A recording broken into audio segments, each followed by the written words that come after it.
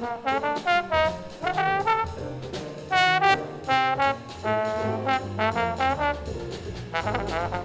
you.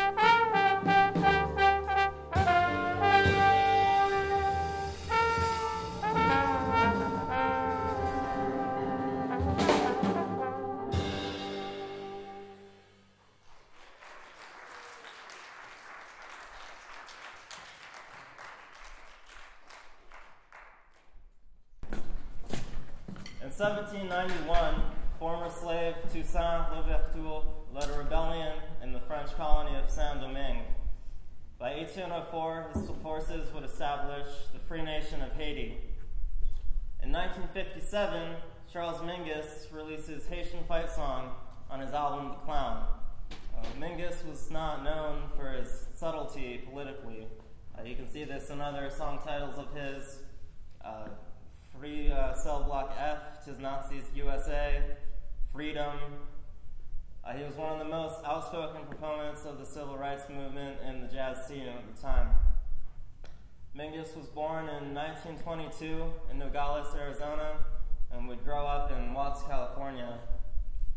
His father was an army sergeant, uh, his uh, lighter skin color, and would raise him to believe that he was somehow superior because of this.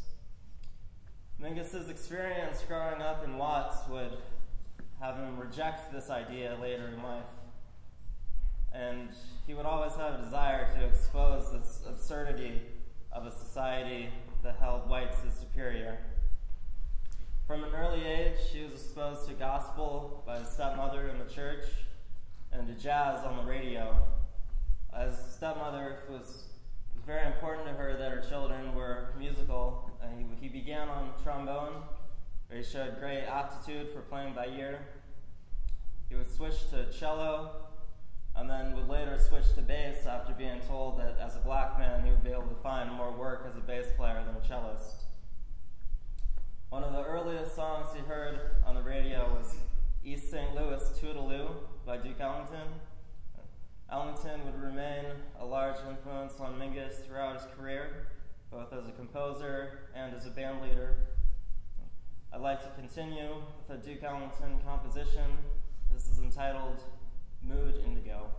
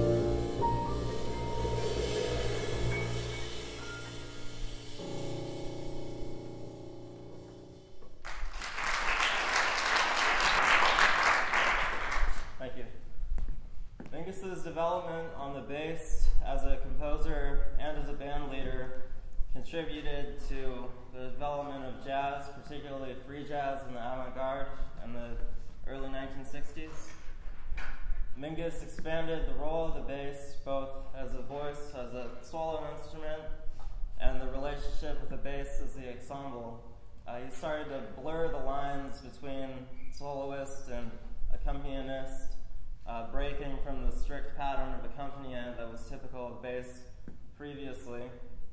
He also would develop concepts for group improvisation. Um, it was said of Ellington that the, his orchestra was his instrument, and Mingus took this concept to his own band. He referred to his groups as the Jazz Workshop and incorporated them into the, his composition pro- process. Often this took the form of group improvisations. These developments on the bass in particular were very influential, and among the bass players he influenced was Charlie Haden. Haden was born in 1937 in Shenandoah, Iowa, and his family would move to Springfield, Missouri when he was young. He was born into a family band, the Haden Family Band, which he began singing with at the age of two. And he would sing with them until he would contract polio in his vocal cords at age 15. Haden became more interested in playing bass after he was forced to stop singing. He was studying with his older brother Jim, who was the bass player for the Haden Family Band. And he became particularly interested in jazz after hearing Charlie Parker at a Jazz of the Philharmonic tour. In 1956, he moved to Los Angeles to attend Westlake College. And in 1957, he would meet Ornette Coleman. And Ornette Coleman, he would find a kindred musical spirit. And Coleman stripped away formal and harmonic structures from jazz and would improvise freely. And Haden's experience singing harmony in the band from such a young age gave him a unique perspective to be able to follow Coleman. Haden could hear harmony lines to a single melody, and he would say, you know, regardless of the harmony line being present, every melody has harmony underneath it. He would sing along to solos on records, and sing along to his own bass player, and this allowed him to be able to follow Coleman's free improvisations. In 1959, he would release The Shape of Jazz to Come with Coleman, and we're going to continue with a track from that album entitled Lonely Woman. This is inspired by a trio version that Haden would do with pianist Geri Allen and drummer Paul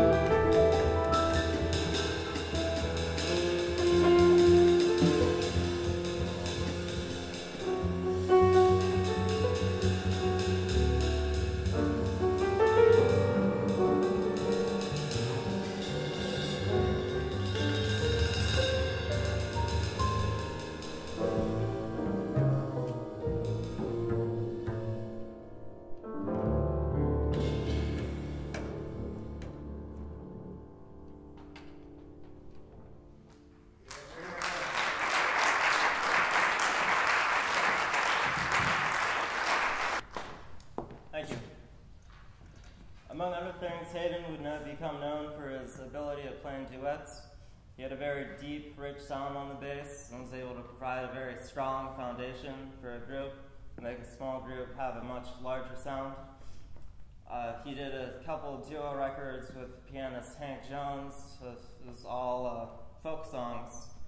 Both Mingus and Haden retained very strong connections to folk songs. Uh, Mingus came from the blues and his early experiences in the church. For Haden, it was the folk songs they would sing with his family band.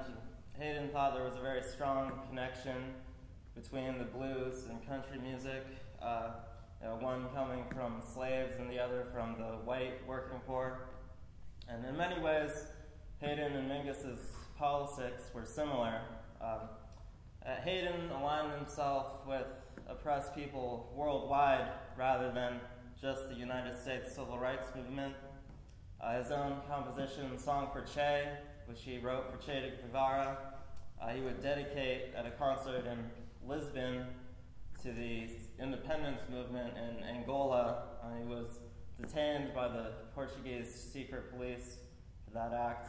Um, his band, Liberation Music Orchestra, which he co founded with pianist Carla Bley, was started as a direct response to the Vietnam War and the process of the Vietnam War. Uh, we're going to conclude the first half with a tune that encapsulates both Mingus and Haden's political views. This is James Weldon Johnson, Lift Every Voice and Sing, also known as the Black National Anthem. done in the style of Hank Sherwin and Charlie Haden.